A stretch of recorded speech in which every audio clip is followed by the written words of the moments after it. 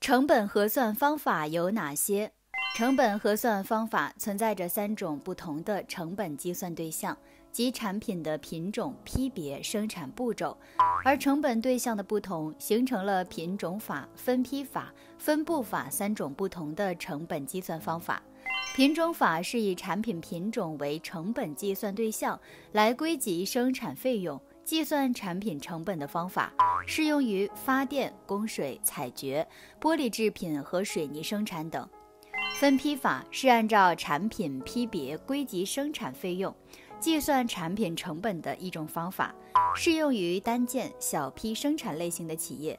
分布法是以产品生产步骤和产品品种为成本计算对象。